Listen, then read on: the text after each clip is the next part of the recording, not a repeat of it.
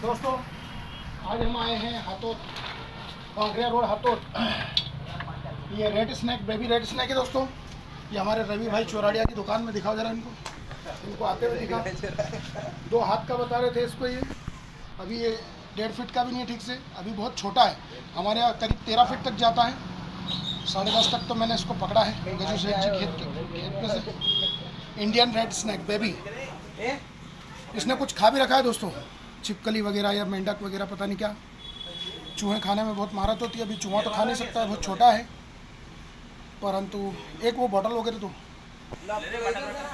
एक chocolate jar दे दो। Indian baby red snack है दोस्तों। आप इसे बहुत अच्छे से देख सकते हैं। किसी प्रकार से ये जहरीला खतरनाक नहीं होता है।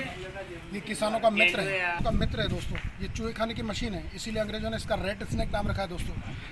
ये किसी भी प्रकार से इंसानों के लिए खतरनाक नहीं होता, लेकिन फिर भी हम इंसान इनसे डर करके इन बेचारे मासूम जानवरों को लोग मार देते हैं। हमारे रवि भाई ने हमको बुलाया।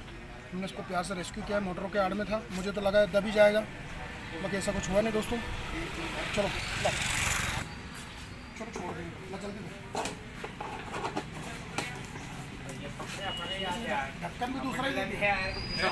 बेबी रेड स्नैक को भी हमने कांकरिया रोड बी की मोटर वेंडिंग की दुकान से बहुत सारे अटाले में से निकाला दोस्तों। इसने कुछ खा भी रखा है। हम इसे ज़्यादा परेशान नहीं करते हैं, वरना अपना खाया हुआ भोजन थूक देगा। हम इसे प्यार से हम जाने देते हैं कि जाओ दोस्त, अपनी दुनिया में मौज करो। जाओ। अब इंसानों के बीच नहीं आना।